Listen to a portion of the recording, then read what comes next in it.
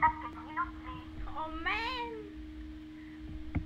một người nói thì người một người ờ, không có mute thôi. Anh chị ơi em, em bắt đầu thử rồi đó. Alo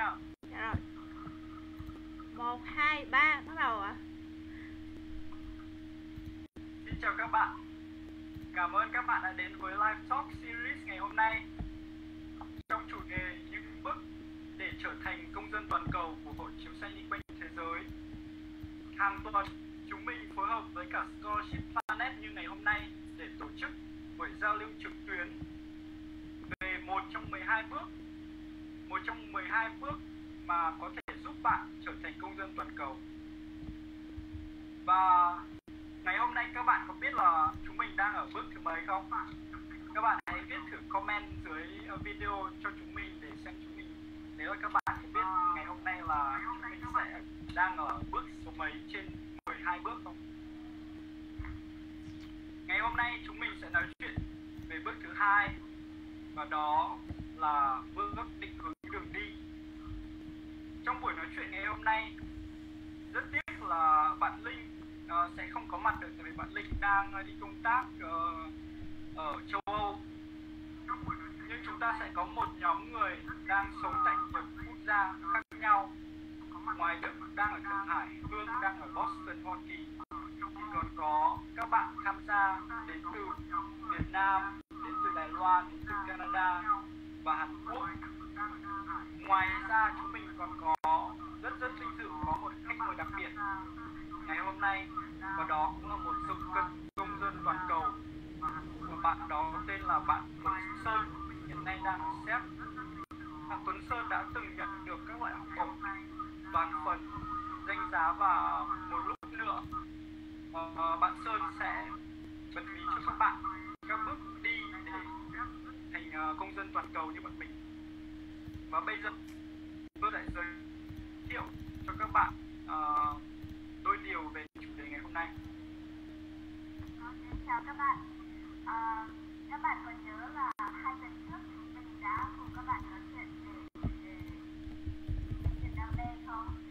Vậy uh, tuần trước các bạn đã tìm thấy tìm được niềm đam mê cho Niềm đam mê của bạn là gì? Các bạn có thể comment cho chúng mình ở bên dưới nhé. Dưới video. À, khi mà các bạn đã biết là niềm đam mê của mình là gì, thì muốn gì, ước mơ của mình là gì, thì các bạn sẽ phải tìm ra một thứ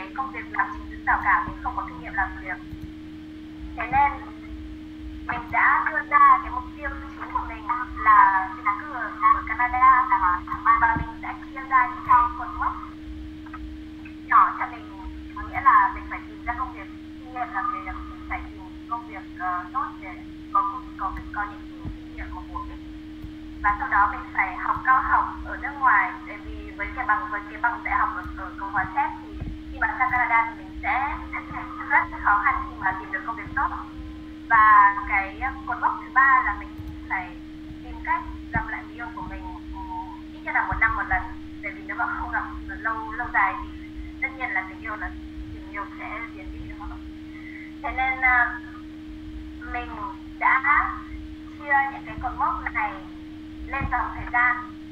Và cái thứ nhất việc thứ nhất là mình phải tìm mình đã, đã phải tìm ra những cái cách mà để sang Canada uh, uh, dễ nhất. Tại vì các bạn cũng biết là người Việt Nam mà muốn sang Canada du lịch rất là khó nếu mà không có việc làm ổn định hay là không có cái cái um, không đang đi học hay là không có uh, công việc uh, có lương cao.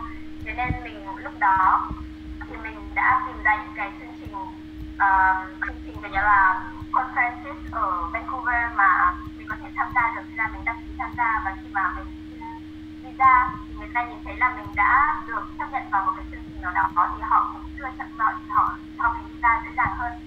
Thì bằng cách này mình đã trở về Canada được.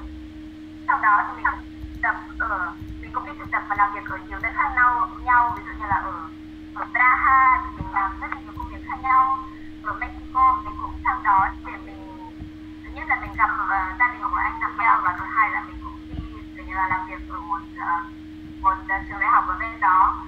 Và đây là Hương cũng làm việc ở ở, ở Praha. Thế là trong mấy năm mấy năm như thế thì mình mấy năm như thế thì mình cứ đi đi đi lại. Mình cứ uh, vừa làm ở việc ở Canada xong rồi một một một uh, xong rồi mình lại trở lại Canada một vài lần và mình khi mà mình đã kiếm được đủ tiền rồi thì mình mình đã đi học ở ở Pháp.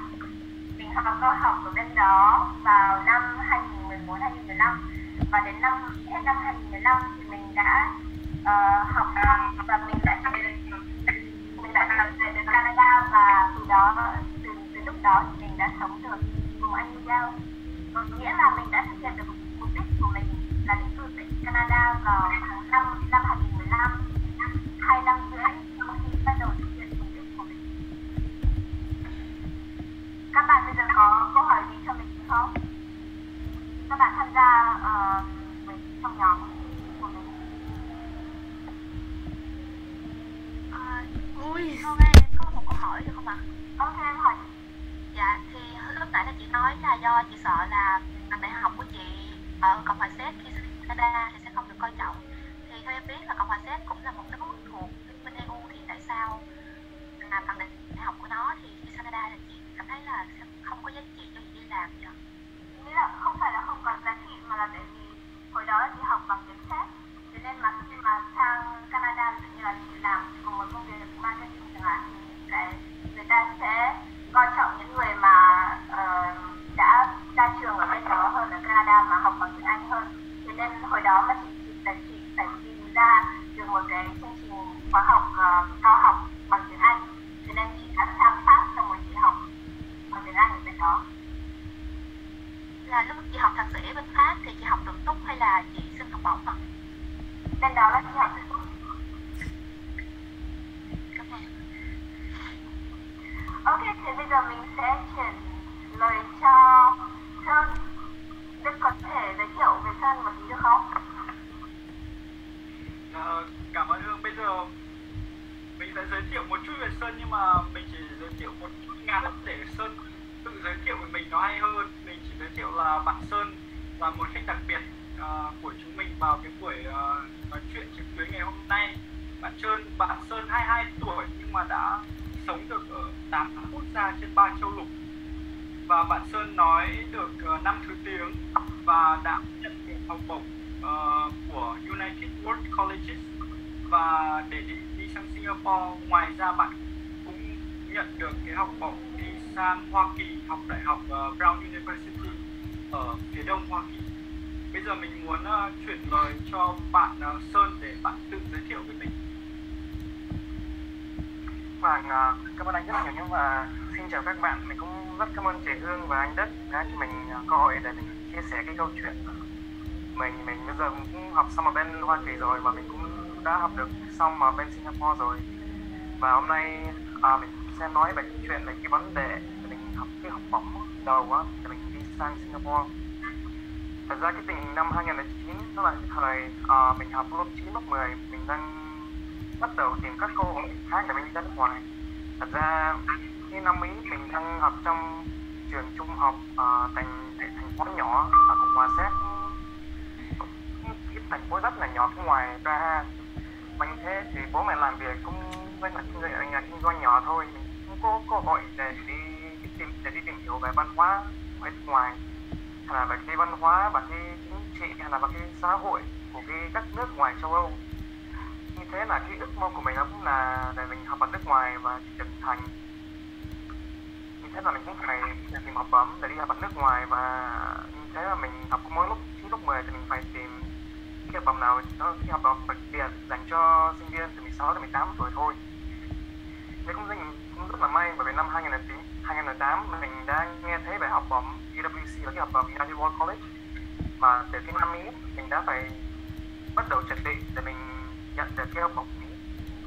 Chúng ta mình có cái một cái mục tiêu để mình uh, học để mình nhận cái học bổng UWC vào năm 2010 thì rất sau, sau mình quyết định cái mục tiêu đó mình uh, mình phải tìm cái con đường để mình đạt được cái đam mê của mình.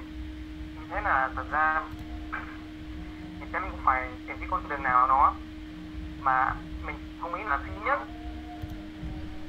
Mình phải tìm hiểu uh, các điều kiện của cái ủy ban á cái ủy ban lựa chọn lựa chọn của cái selection committee. Thứ hai là mình phải làm tốt thêm cái kỹ năng và cái hồ sơ của mình khi mình giải đơn cái trường hợp của mình là mình hồi xưa mình cũng không nói được tiếng Anh thạo lắm. Thế nên là mình phải học thêm tiếng Anh.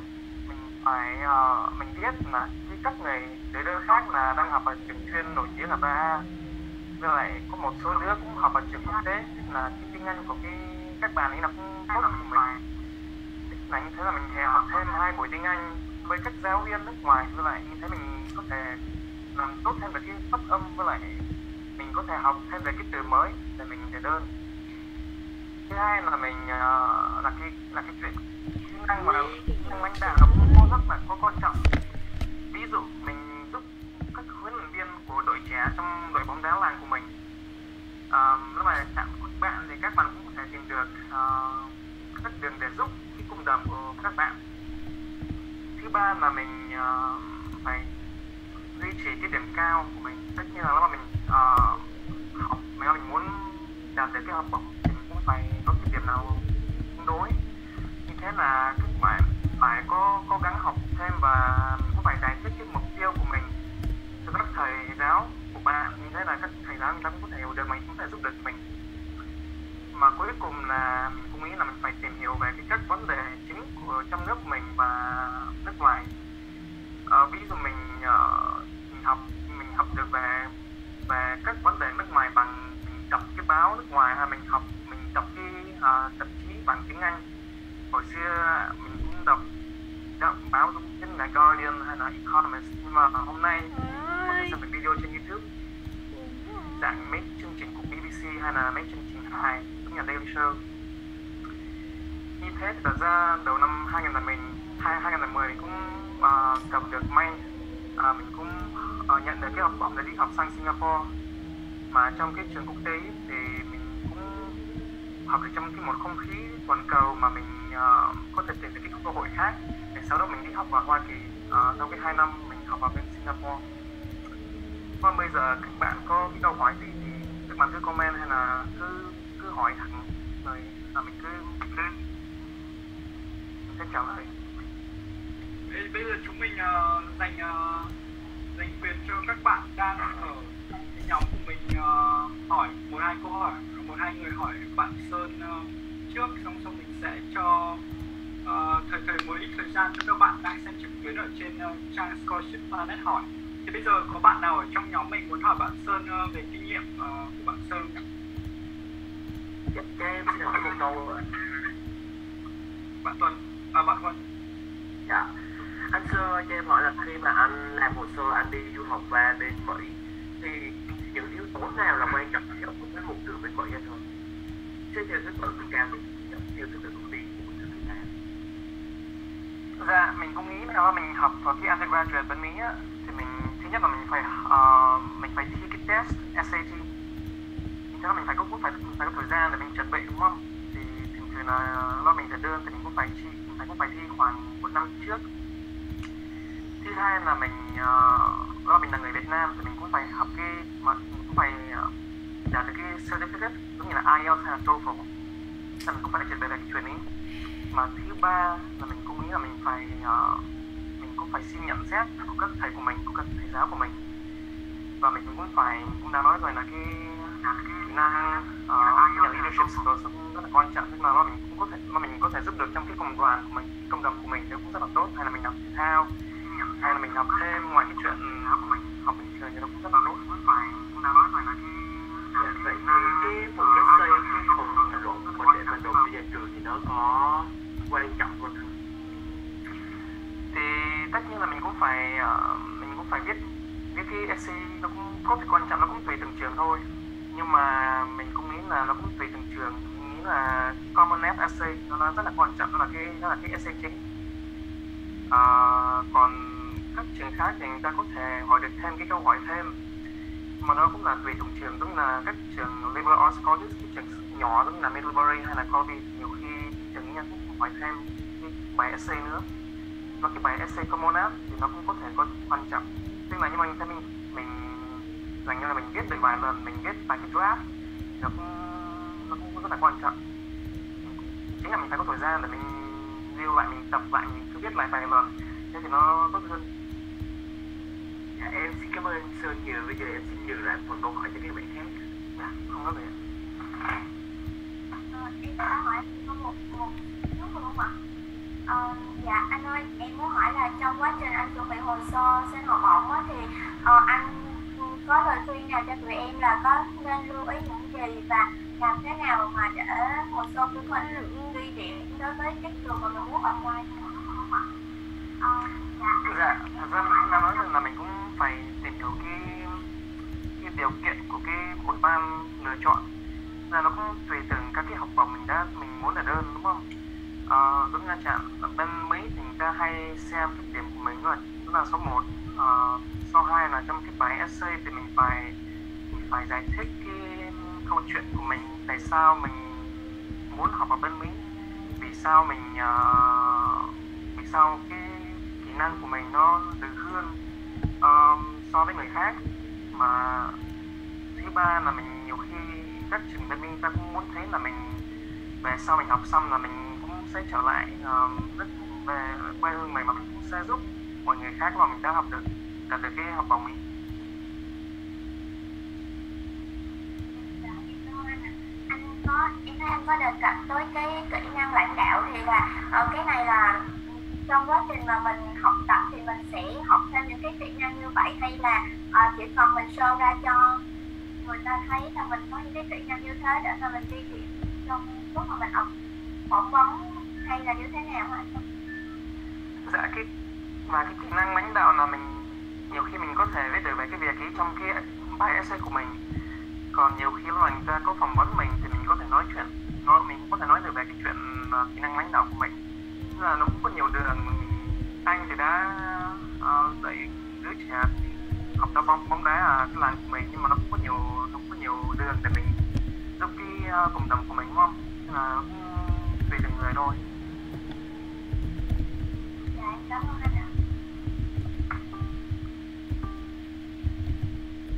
Và bạn nào muốn hỏi bạn Sơn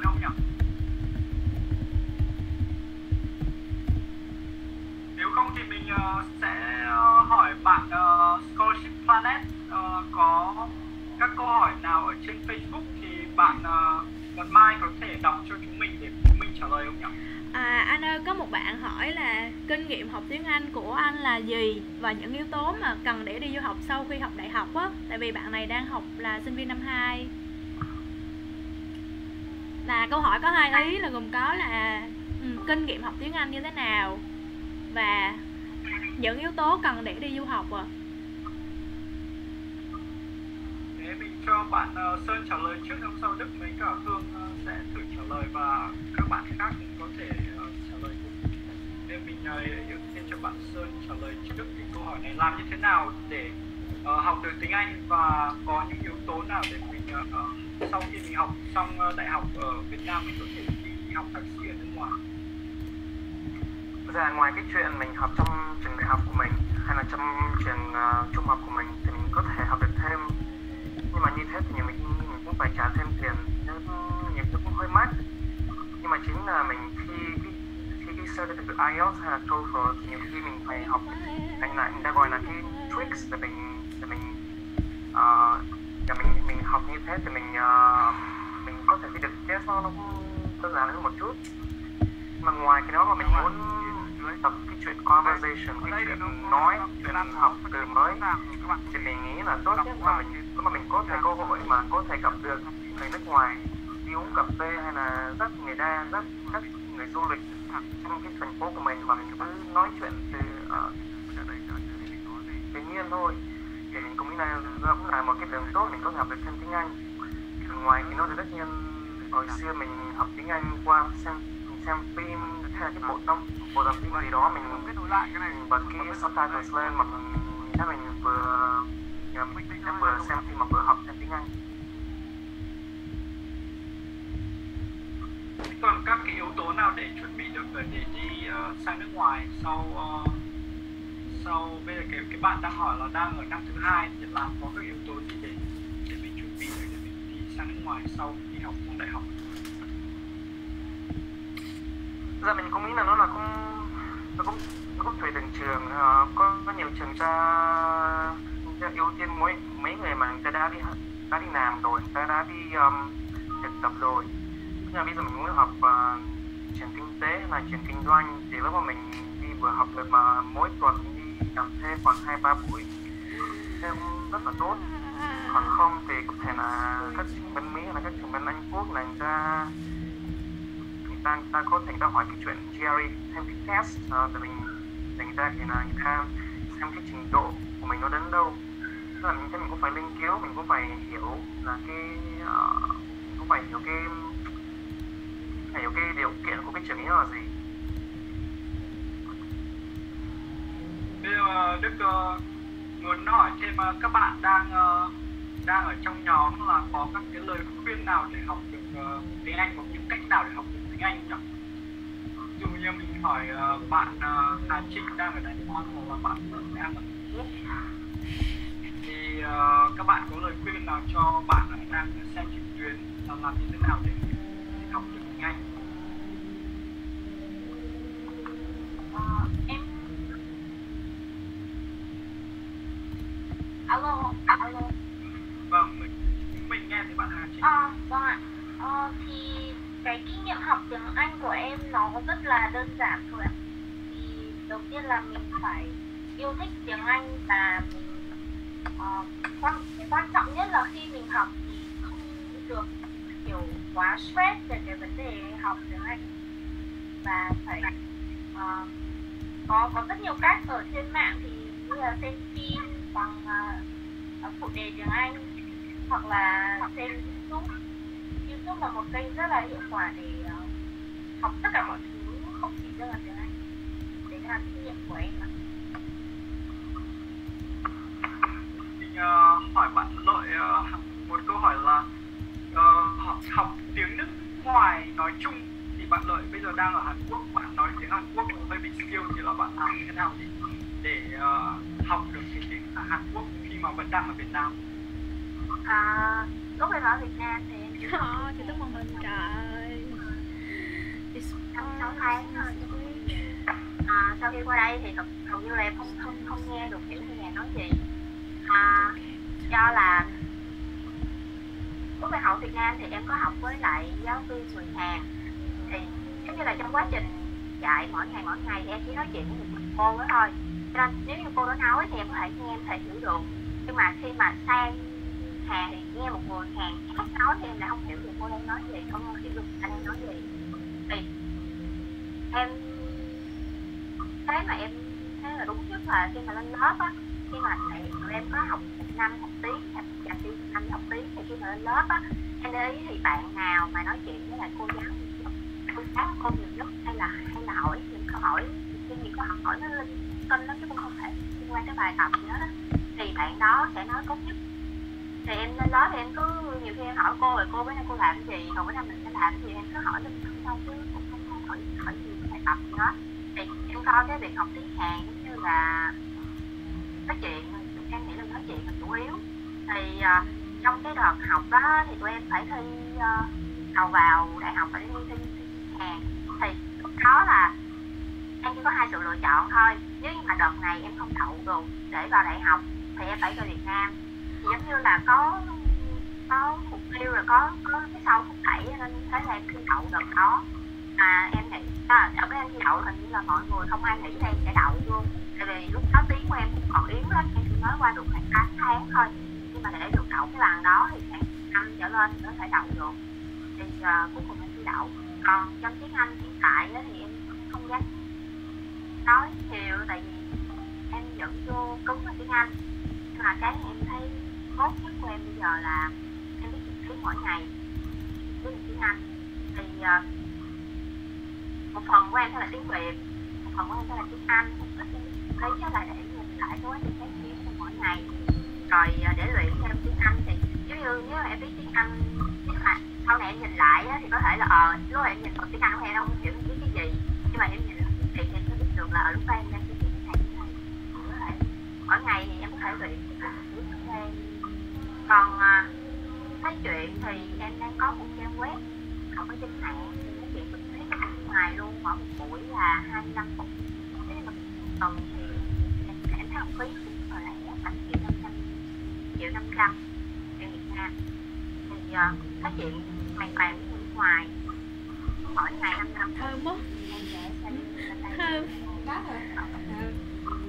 À, trời ơi, scare thế thì là chúng mình đã trả lời một câu hỏi của một bạn uh, đang uh, trực tuyến bạn Sơn bạn là Hà Trịnh và bạn Lợi đã chia sẻ các cái kinh nghiệm của mình làm thế nào để học được tiếng Anh và tiếng Hàn Quốc nghĩa là học ngoại ngữ nói chung. Bây giờ mình uh, hỏi lại bạn uh, uh, bạn Mai ở Scholarship Planet. Còn một câu hỏi nào nữa không? Trước khi mình uh, triển khai để mình uh, đi tiếp vào mục tiếp thì còn bạn nào đang xem uh, trực tuyến muốn hỏi một câu nữa nào? Nào nữa? À, Thì có một câu hỏi từ một bạn Thùy Duyên. Thì Duyên á anh Không liên quan lắm nhưng mà bạn này là đang là sinh viên năm nhất Và bạn muốn tìm học bổng toàn phần thì nên tìm ở đâu ạ? Bạn này đang học ngành luật. Đang học ngành luật và Dạ. đang uh, tìm học bổng đúng không? Và à, và bạn này đang là sinh viên năm nhất ạ. Năm nhất? Dạ. Thế mình uh, giờ có bạn nào trong nhóm mình muốn trả lời câu này không nhỉ? Đang uh, bạn đang học năm nhất đại học và muốn uh, tìm học bổng đang học luật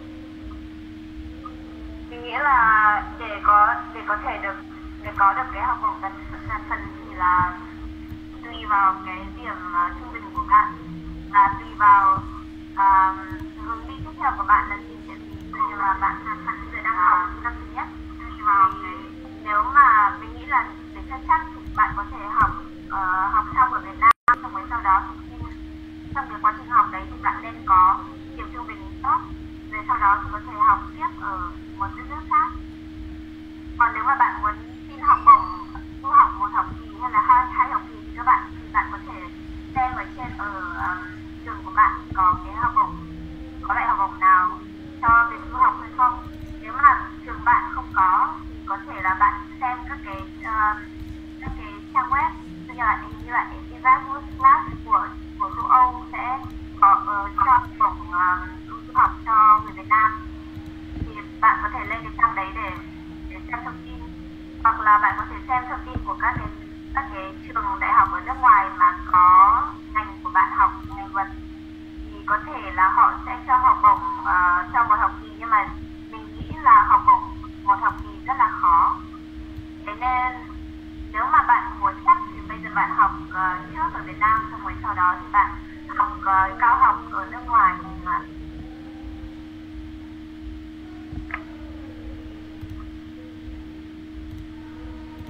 Sơn có um, có gợi ý nào cho cho bạn đó nữa không? dạ em em cũng không bởi vì cái cơ hội uh, họ bỏ nó cũng rất là khác trong mỗi nước. Nào xưa em cũng để đơn từ Hoa Kỳ là cũng không không biết chính sách là bên Việt Nam là có cái cơ hội gì. Ờ, có thể là cái do mình muốn sang Hoa Kỳ thì có thể xem được cái trang Fulbright xem là người ta có cái cơ hội nào không để mình sang nước ngoài và chính là Fulbright là người ta cho học bổng để đi học uh, đi học cao học.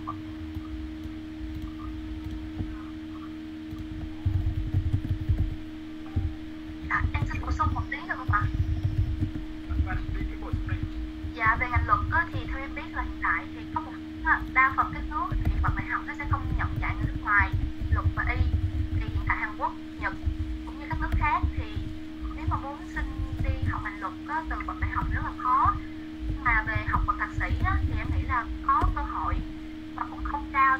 khó khá là gắt. Thứ nhất là về tiếng Anh, thứ hai nữa là phải có kinh nghiệm đã.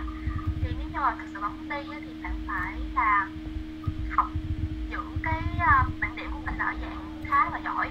Sau đó thì bạn có thể xin đi học ở các công ty luật hoặc là bạn làm cho các tổ chức chính phủ. Thì mình nghĩ là có thêm kinh nghiệm thì cái cơ hội bạn nhận được học bổng là học bậc tăng học tốt hơn Vâng, xin khá là em cũng không biết là trong khi học à, ở đây có dạy có trường một dạy có một số trường không phải trung tâm dạy mà vậy là trước tiên là bạn nên xác định trước là bạn muốn đi nước nào cái đã, sau đó mình tìm được học bổng rồi chứ bây giờ nếu nói chung chung thì mỗi nước nó lại có một yêu cầu khác nhau. Đây em nghĩ là khi mà các bạn đã thực sự thích ngành luật thì hãy đi du học tập ngành luật chứ là mà sang nước ngoài không nên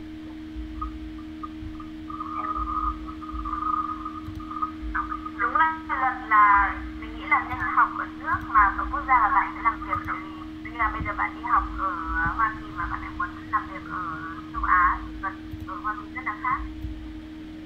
Nên uh, đúng là bạn phải chọn ra một đất nước thích hợp xong sau đó. Thì có thể học bổng học bổng đó. Ok, cảm, cảm ơn các bạn, ờ, cảm ơn các bạn đã trả, đã ờ, đặt câu hỏi. Nếu mà các bạn có câu hỏi tiếp thì chúng mình sẽ trả lời trong ờ, phần tiếp theo. Còn bây giờ thì chúng mình sẽ nói chuyện về các về với cả các bạn uh, tham gia trong chương trình này. Bởi vì trước trước buổi nói chuyện ngày hôm nay thì mình đã sẽ đã đặt câu hỏi cho các bạn và bây giờ đợi mình chúng mình đã đặt câu hỏi cho các bạn là mục đích các bạn đặt ra một cái mục đích của mình và sau đó vạch ra các cột mốc và viết ra những cái ờ, thời gian để thực hiện những cái cột mốc đó thì bây giờ chúng mình sẽ chọn ra ba bạn để nói chuyện về cái mục đích của của bạn. Bây giờ bạn Lê Huân. Mục đích của Lê Huân là đọc sáu cuốn sách. Mình thấy là Lê Huân rất là rất là là văn hóa sách đúng không? Tại vì Huân ở Hậu Huân đọc rất là rất là nhanh. Chỉ trong một tuần hay là chỉ trong mấy ngày mà đã đọc xong một cuốn sách và sau ờ, một tháng đã muốn đọc xong sáu cuốn sách rồi. Huân có thể nói về cái uh, việc đọc sách của mình được không? Dạ, em xin chào tất cả mọi người. Hôm nay em sẽ chia sẻ một ít về việc em muốn tạo thói quen đọc sách của mình. Thì em nghĩ thường thì mọi người sẽ nói đến những cái mục tiêu to hơn Nên là em sẽ đưa ví dụ từ một mục tiêu rất là nhỏ, là căng thẳng để mọi người có thể thực hiện nó ngay bây giờ mỗi ngày để có thể thói quen tốt của mình cho tương lai. Và thói quen hôm nay em muốn nói tới đó là một thói quen đọc sách đó là một thói quen mà em đang thích rất là rất là thích đây của mình. Nên là mà được nhận câu hỏi của các anh chị thì em đã nghe ra tới thì nói tới thói quen này. em. Em đọc sách với nhiều lý do. Đa phần là em muốn hiểu kỹ hơn về thế giới xung quanh. Con người về những cái hướng đi trong tương lai của em nó cũng liên quan về liên quan nhiều tới con người. Và trong số những cuốn sách em chọn có một số cuốn sách có thể giúp em phát triển hơn tốt hơn. Đó thì uh, những cái kỹ năng những cái uh, khả năng những cái về cần thiết cho việc đi du học những cầu nó sẽ có những cái tác động to lớn và trong số những cuốn sách của em thì em cũng chọn rất là nhiều chủ đề khác nhau để mà mình thấy được mình cho khi mà mình đọc cái loại sách quá nhiều mình sẽ cảm thấy mình làm bất cứ việc gì vậy thôi nên là mình phải rất là vẫn đọc sách nhưng mà em thấy được cái điều mà nó cảm thấy thú vị hơn bởi vì khi mà mình thực sự cái gì đó mình sẽ làm nó mình sẽ hạnh phúc với nó mình sẽ làm nó tốt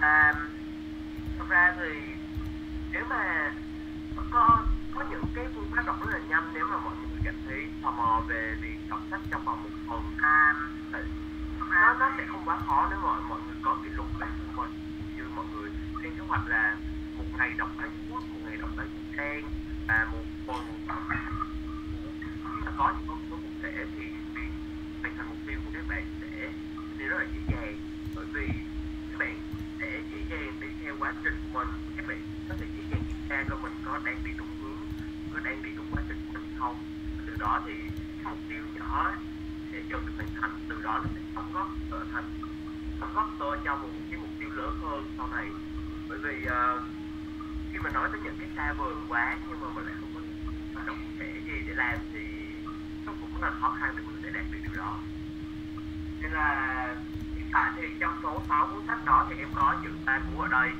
còn ba cuốn còn lại thì của em mượn hai cuốn em à, ngay trong tuần này đó là ngày 23 tháng 10 em sẽ phải đọc xong cuốn này. Tại vì em đã đọc được em một phần ba cuốn rồi mọi người thấy là khi mà mình đặt một mục tiêu đó thì em nghĩ là mình nên thực hiện liền. Bởi vì lúc đó cái cái gọi là cái động lực mình nó đang rất là mạnh cái cái cái mong muốn của mình đang rất là mạnh. Thì khi mà đặt được mục tiêu gì đó là mình người cho mọi người cùng biết thực hiện lý thực hiện cuốn này cho thành thói quen của mình. Thì từ đó cái uh, mục tiêu của các bạn mục tiêu của tất cả mọi người sẽ có thể có thể dễ dàng đạt được. Đó là những gì, những chia sẻ của em về việc em đọc xong sáu cuốn sách trong vòng một tháng rưỡi từ tuần từ tuần này cho tới cái anh thì cảm ơn em. Cái cuốn sách mà em đọc thì khá là như là khá là khác nhau cả đa dạng. Và cách cách em nói chuyện cũng rất là kiểu như là rất là dễ thương theo với cả lời trận chuyện chuyện chuyện chuyện của em nghĩ là tại vì em đọc nhiều cuốn sách và em tìm hiểu về nhiều điều khác nhau thì nên em uh, sẵn sàng hơn độ tuổi của mình.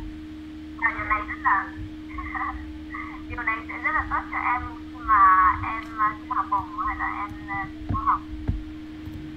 Huân Huân có thể giới thiệu uh, cho mình uh, cho các bạn đang xem trực là Huân đang năm nay bao nhiêu tuổi không nhỉ? Dạ năm nay hiện tại thì em đang 17 tuổi rưỡi Tức là em đang học lớp 12 ở một trường trung học ở thành phố Đà Lạt ở Việt Nam Tức là em đang học năm cấp và năm sau em sẽ thi vào đại học và em sẽ đi một đại học nào đó ở nước ngoài vậy Ờ, Cảm ơn Huân. Bây giờ chúng mình sẽ ờ, trò chuyện với cả thêm ờ, bạn nữa xong rồi sau ba bạn thì chúng mình sẽ lại làm một vòng ờ, cho các bạn đang xem trực tuyến hỏi câu hỏi cho bạn Huân và hai bạn tiếp theo. Và tiếp theo chúng mình cả bạn đi. Ok, cái mục đích của bạn Vi là thực tập tại một công ty logistics tại Singapore, Hồng Kông hoặc là Australia. Thì Vi có thể nói chuyện cho chúng mình biết về cái mục đích này của bạn được không? À, dạ hiện tại thì em đang học năm ba ngành thương mại. Thì à, em chỉ còn năm nữa là đến cuối năm ba em sẽ tốt nghiệp cho nên là có hai học kỳ cho nên là dự định của em là hết học kỳ này và học kỳ sau là vào khoảng tháng 3 năm 2017 thì em sẽ không học học kỳ sau và sẽ thực tập.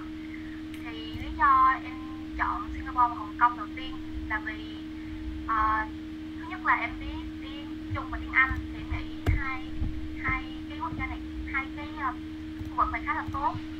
Về tại vì em biết các tiếng Anh thứ hai nữa là hai cái khu vực này khá là mạnh về cái mảng logistics. Thì uh, lý do thứ hai nữa là lý do thứ ba là do khoa của em là đã có các anh chị tiền bối như trước là đã làm ở đây và họ về trường chia sẻ về môi trường làm việc cũng như là nhu cầu đầu vào. Thì em nghĩ là em có thể đáp ứng được. Và cũng như là giáo sư hướng dẫn của em là thầy mà cũng khá là hứng thú với khu vực này và có một số mối quan hệ thì thầy nói là thầy sẽ tiến cử em. Thì đầu tiên là em phải có được bằng tiếng Anh và tiếng Hoa nên là em mới dự định là vào tháng cuối năm nay là vào ngày 4 tháng 12 em thi HSK là kỳ thi ờ, thứ hai là phải đạt cấp 6 thì hiện tại em đã có cấp 4 sau đó thì và vài ngày sau thì cũng ờ, ngày tháng 10 uh, ngày 10 tháng 12 thì em sẽ thi IELTS với mục tiêu là 700 dạ. rồi uh, uh, Australia thì em trước thì em có quen bạn Australia thì em cảm thấy bạn kể với đất nước bạn cũng rất là hay.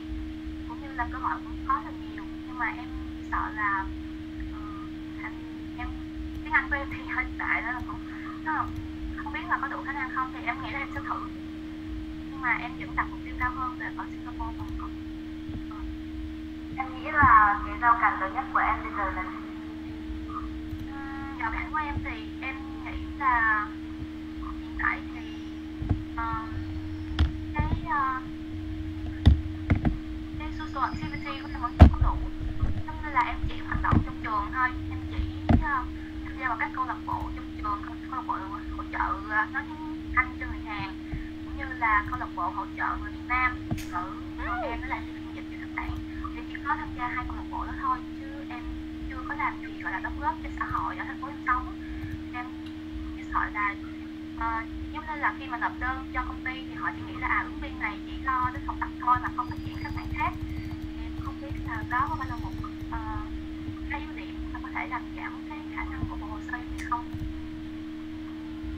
Cho các bạn ờ, đang xem trực tuyến ở trên slide như là có một cái lỗi là hiện tại đến 31 tháng 11 năm 2016 chứ không phải 31 tháng 1 Ờ, À, 31 tháng 11 Ờ, bây giờ bạn Hằng ờ, không có trực tuyến ờ, để chúng mình định trò chuyện với cả bạn Hằng nhưng mà mình thấy là bạn Hằng ờ, không có trực tuyến thì bây giờ chúng mình mình à, bây giờ mình có thể cho ờ, cho chuyển lời cho một bạn mà muốn đi du học về cái bạn hằng đi du học thạc sĩ thì bây giờ ơi! Hoàn mỹ trời! Hà Đinh là Lan Lan Anh Thanh Hằng. Thì các em ờ, trong những các em thì ai muốn ờ, nói chuyện ờ, với anh chị về cái việc du học của các em? Các bạn Hoàn Mỹ chưa nói thì cho bạn Hoàn Mỹ ờ, chia sẻ câu chuyện của mình nhé. Dạ các chị ạ. dạ Dạ. À, thật ra là tại vì em cũng có ý muốn muốn đi du học nhưng mà em cũng chưa xác định rõ là em sẽ muốn đi cái nước nào nhưng mà có lẽ là sẽ là đất tại vì đất được free học phí nếu mà mình học tiếng đất đấy ạ à, nếu mà học bằng uh, cái ngành học bằng trình tiếng đất thì sẽ được free học phí thì em nghĩ là khả năng để lấy được học bổng nó hơi khó nên là nếu mà tìm một đất nước nào được free học phí thì nó sẽ dễ hơn ạ. Nên em xác định là em tính đi đất thì ờ, năm ờ, em xác định mà tại vì năm nay em cũng học 12 giống bạn Huân thì ờ, nên là em còn tính gap year một năm nữa. Nên mục đích của em ờ, những cái dự định của em bình thường nó sang năm sau nó cũng ờ, hơi xa một tí. Ờ, là từ bây giờ thì ờ, để cho đến lúc đó là em sẽ bắt đầu tham gia những cái hoạt động ngoại khóa các kiểu. Tại em ở Đồng Nai mà cũng ở vùng uh, hơi uh, kiểu nông thôn một tí. Nên là các hoạt động ngoại khóa ở chỗ em cũng hơi ít. Thường thì uh, nếu em muốn tham gia em sẽ phải lên uh, thành phố Hồ Chí Minh. Nên là bây giờ em cũng đang có tham gia một dự án đó. Rồi uh, thì uh, đến uh, tháng 10 à, em dự định là sẽ đến uh, ngày đến cuối tháng 5 năm. 2017 ạ. Là trước khi em tốt nghiệp uh, cấp 3 là tốt nghiệp 12 thì em muốn là điểm ờ, trung bình của em sẽ đạt được 8.5 tại vì để xin học bổng thì điểm trung bình càng cao càng tốt nhưng mà uh, đặt cao quá thì em nghĩ là nó hơi khó mình sẽ hơi chưa nói anh được. Nên là em nghĩ 8.5 chắc là vượt sức. Còn uh, về vào ngày vào năm 2017 vào khoảng cuối tháng 1 thì em nghĩ là đến lúc đó là mình cần phải tìm một cái khóa học thích hợp cũng như là tìm được một cái trường tìm một cái trường mà mình sẽ apply để có thể định hướng rõ nhất những gì mình cần và những gì mình cần chuẩn bị trước. Uh, à rồi đến uh, tháng uh, em dự định là đến tháng 4 năm 2017 thì em sẽ uh, đi thi uh, tiếng Đức tại vì bây giờ tuy là em vẫn chưa bắt đầu học tiếng Đức nhưng mà em phải đặt mục tiêu để năm sau khi mà lên Sài Gòn gì đó để học tiếng Đức thì em cần là bằng uh, B2 hoặc là B1 thôi cũng được. Có lẽ là trong một năm đó phải cố gắng hết sức để có thể lấy được bằng B2 để sang Đức. Uh, dạ, rồi. Vậy là những cái gì vô học của em sẽ là như vậy. học tiếng Đức. Có nghĩa là đến tháng 4 năm sau là em muốn là có bằng B2 tiếng Đức hay là tháng 4 năm 2000 uh, năm 2018 là em gác một năm. Ok. Có nghĩa là gap year đấy thì em sẽ ở lại Việt Nam xong rồi em sẽ tập trung vào học và làm làm các việc uh, nhân vậy đúng không?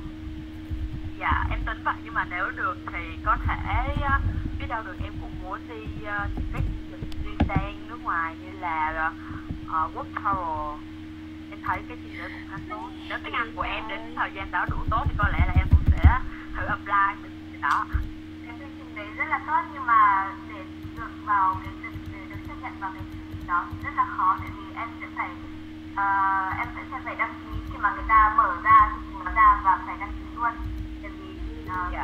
sẽ sẽ hết hết luôn nhưng mà chỉ Dạ. là nếu mà em chuẩn bị từ bây giờ cái uh, gap year của mình thì uh, viết phương án A, C chẳng hạn xong rồi sau đó chuyển nó thì là sẽ được còn việc sang Đức thì yeah. Đức nghĩ là rất tốt thì sẽ ủng hộ em tại vì Đức uh, đúng là vì là học ở đấy là nơi cũng cao và các trường ở đấy cũng rất tốt và nếu mà em mà nói được tiếng Đức tốt thì học ở bên đấy cũng lại cũng không thích học ở châu Âu có cái hay là em có thể đi du lịch được uh, dễ dàng dạ đúng rồi đó cũng là một trong những lý do em chọn châu Âu em có câu hỏi gì cho chị không? Ờ, dạ em muốn hỏi anh chị là trong cái việc hoạt động ngoại khóa á, em cảm thấy là nó có rất là nhiều cái thì trong những cái đó thì thường là khi mà mình apply học bổng á, thì người ta sẽ quan trọng là những kỹ năng nào khi mà mình tham gia á.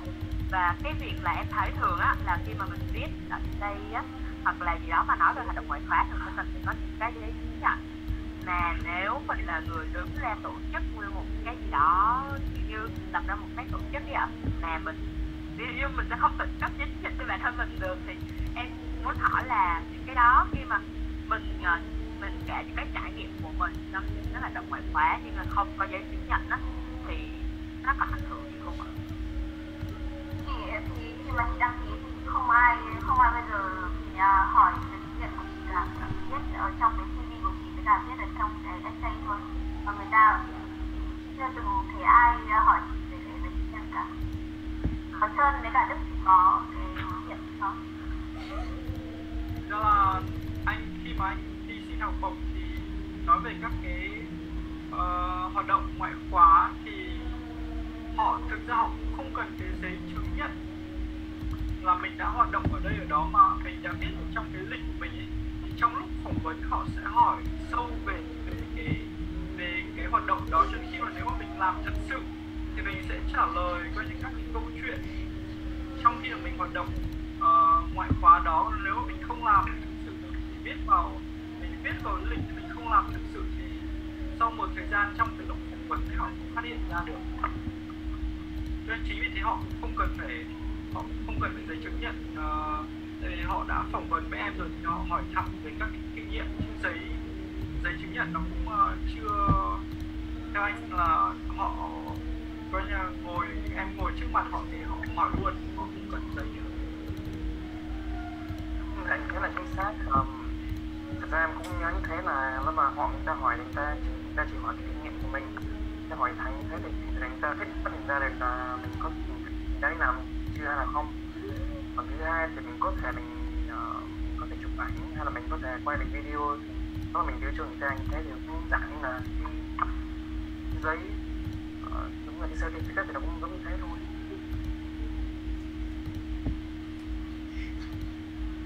Bây giờ mình ờ, bây giờ chúng mình có bạn hằng ờ, đang kiếm tuyến rồi thì bây giờ mình đang nói đến cái mục của bạn hằng là cái mục định cái định hướng của bạn là định đi học thạc sĩ.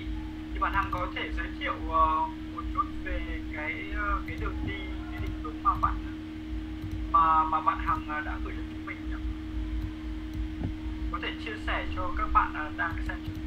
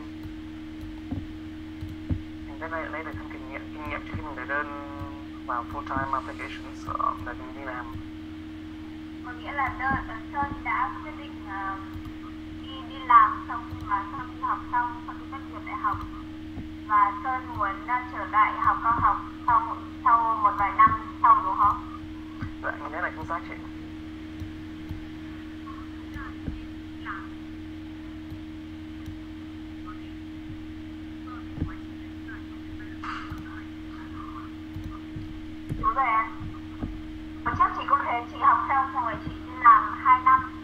Sau 2 năm đấy chị có rất là nhiều các cái hoạt động khác nhau và các công việc khác nhau. Thì nên khi mà đăng ký đại học và sau này khi mà ra đi làm thì người ta cũng thấy là mình có nhiều kinh nghiệm khác nhau thì mình sẽ có lợi thế hơn với so với các bạn khác. Tại vì bình thường ra thì các bạn à, thường hay học đại học đại học xong rồi đi xong rồi học cao học luôn. Thì khi mà ra trường thì họ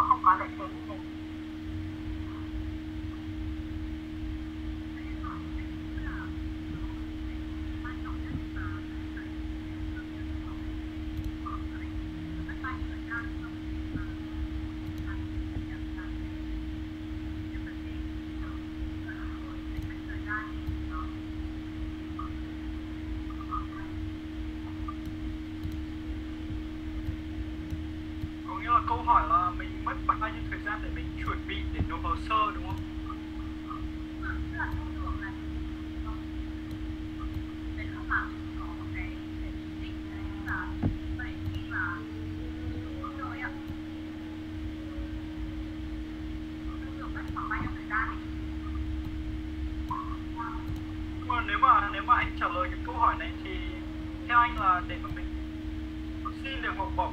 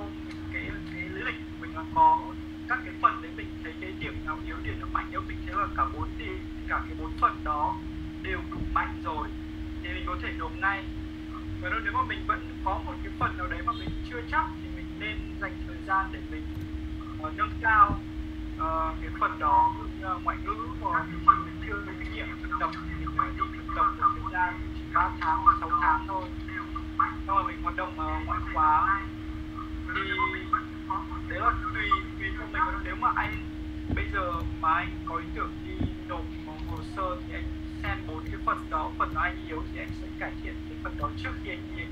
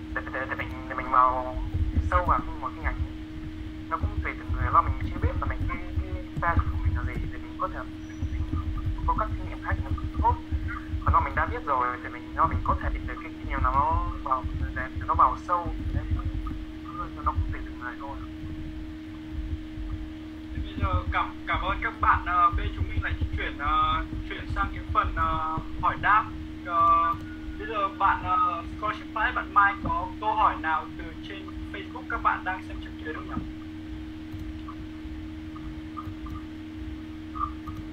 Hello. Vâng, Và phần Mai có câu hỏi nào trên uh, trên Facebook uh, cho các từ các bạn đang tham dự với chúng mình? Hiện tại thì vẫn chưa có câu hỏi nào từ các bạn trên fanpage Bay Scholarship anh. À, có chứ em. Chị ờ, thấy nhiều mà. À, để để tớ chị, đọc để chị, chị đọc, đọc lại uh, ha. câu hỏi nhé. Dạ rồi ok chị. À,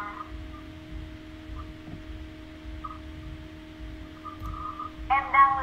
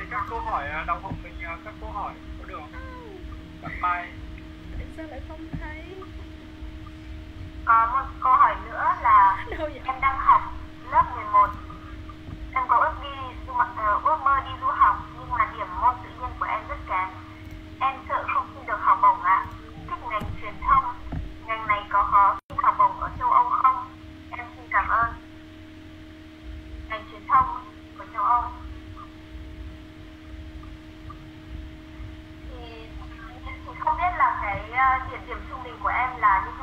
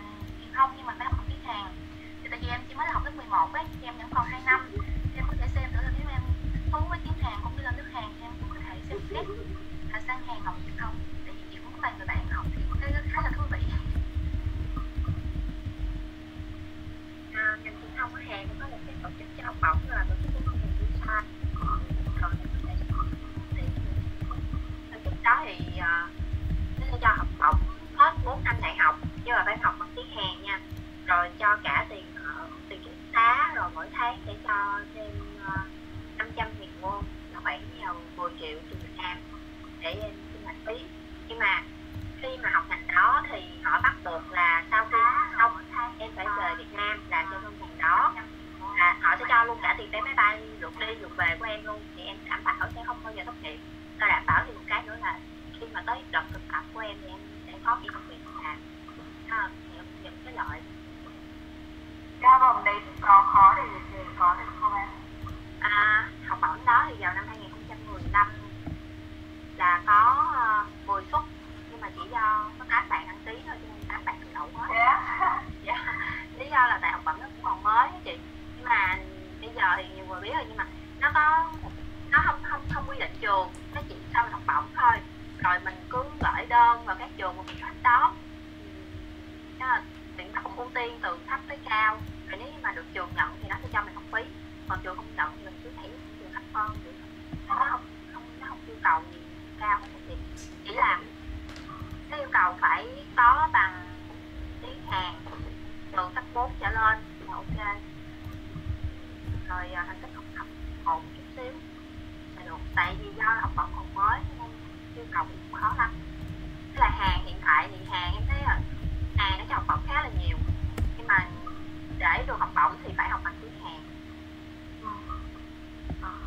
Rồi ơi có thể cho em xin cái link không ạ hoặc là cái tên của cái đó cũng được ạ. Tên của học bổng em thì em cứ lên em search là học bổng của ngân hàng Busan dạ rồi học bổng ngân hàng Busan dạ học bổng đấy là dạ rồi là chỉ dành cho người Việt Nam hay là cho người ờ, nước ngoài dạ do là ngân hàng nó đang mở chi nhánh tại Việt Nam chị cho nên họ cho học bổng cho Việt Nam à, à dạ. Cái gì kết quả dạ em cảm ơn chị ạ. Cảm ơn cảm ơn lợi nhé bây giờ thì ờ, trong ờ, những bạn tham gia thì các em có câu hỏi gì cho Đức và Sơn về tài chính không?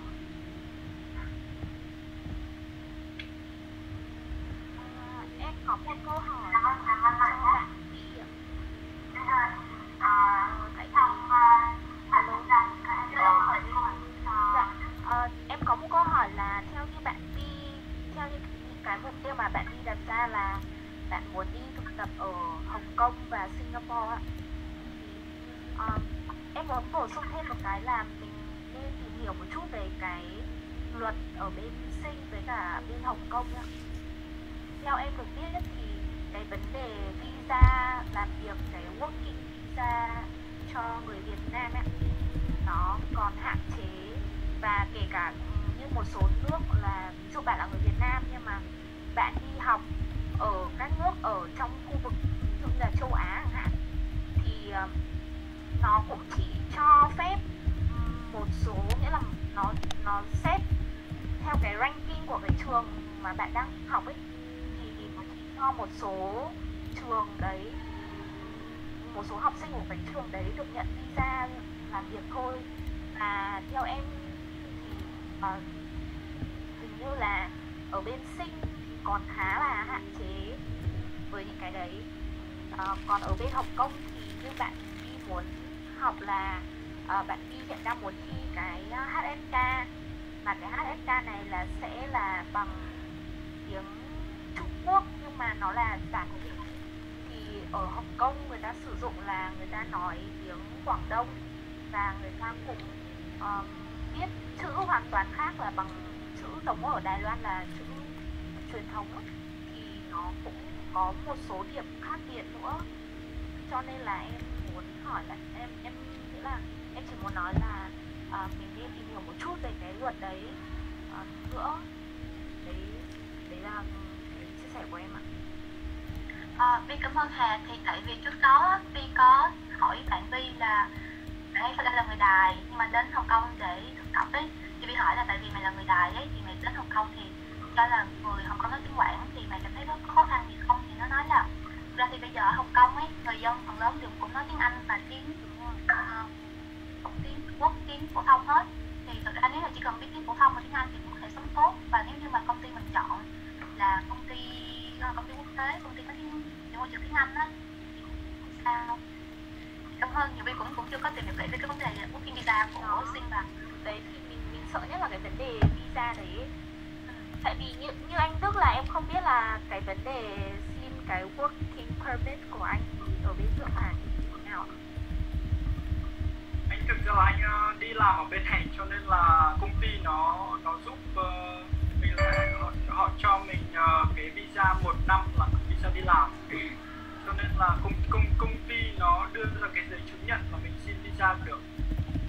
Thực ra là trước khi anh ý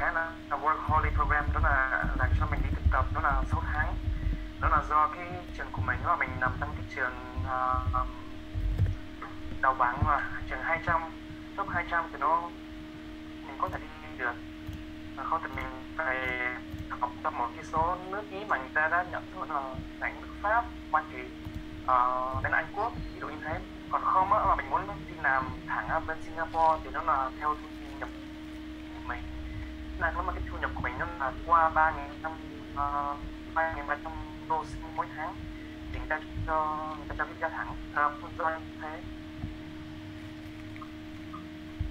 Dạ cảm ơn anh ạ. Ờ, với cả em muốn hỏi anh Sơn là ờ, anh em em xem ở cái Facebook ở cái profile của anh ạ. Thì em thấy anh đi học exchange ở bên Hàn ạ. Thì em em cũng muốn đi exchange ạ. Thì em muốn hỏi là à, anh đặt mục tiêu cho mình thì đi exchange thì như thế nào ạ tại vì theo em được biết là có những bạn mà ờ, em biết thì các bạn nghĩ là không nên đi exchange. Tại vì nếu mà đi xong thì về mình nghĩa là mình ví dụ mình đi từ năm thứ ba thì sau khi đi về thì mình lại phải học lại cái năm mà mình đã thiếu credit ở bên này của trường của mình tại sao anh lại muốn đi học exchange và trong cái năm exchange đấy thì đã đã đặt trong mình những cái mục tiêu gì ạ?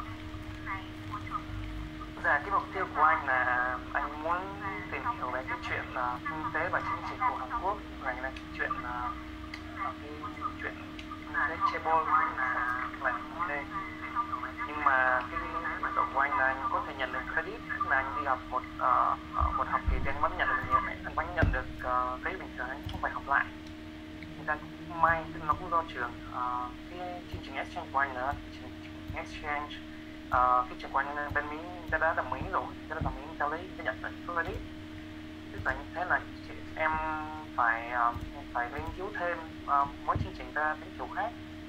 Còn không lo mình muốn sang Hàn Quốc thì nhiều khi mình học cao học nó khi nó còn hơn bởi vì nó có nhiều kinh nó có nhiều uh, cơ hội mình lấy cái học bổng thì học cao học uh, các trường tốt được có sâu.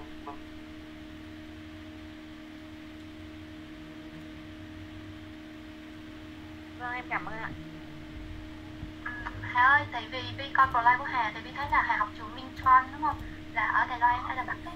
Thì trường Hà thì lại khó đi có cái trường Vi và trước đó cũng có mấy bạn Đài Loan qua. Thì Vi thấy là họ vẫn nhận Vidic ấy. Thì nên là Hà có thể xem xét lại với lại ngành của Hà á, là ngành của trường Vi có nữa. Nên là Vi có cái vấn đề mà experience 6 tháng,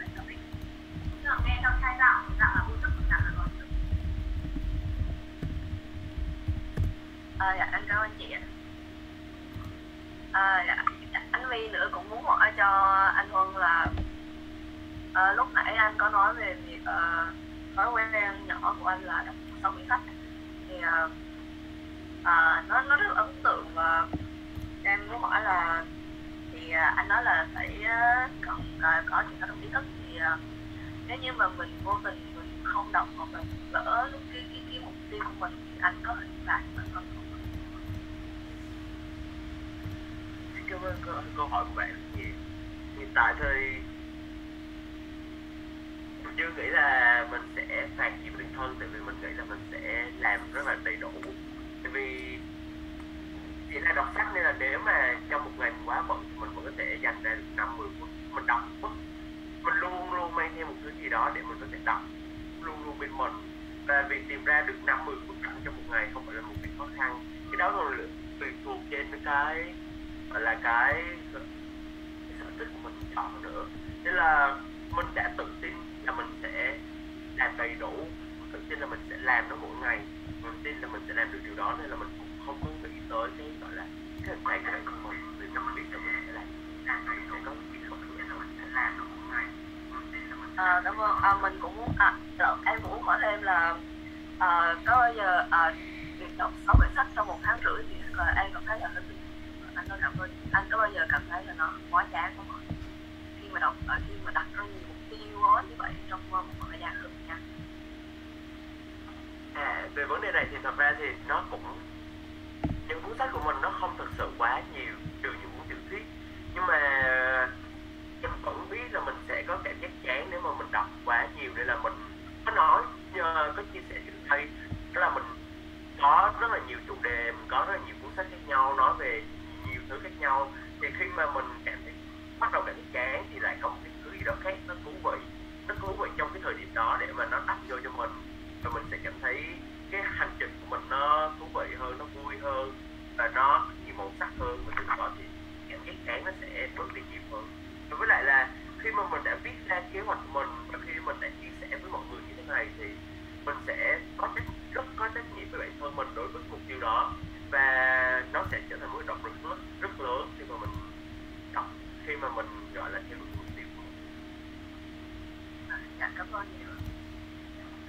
là Huân. Mình nghĩ là Huân là một chuyên gia trong những chủ đề có đường đi này. Huân biết uh, cách lên kế hoạch rất là tốt. Dạ, em xin cảm ơn chị Hương. Ok, cảm ơn mọi người nhiều. Bây giờ uh, mình nghĩ là mình nên uh, kết thúc buổi nói chuyện tại đây. Và bây giờ Như Hương sẽ uh,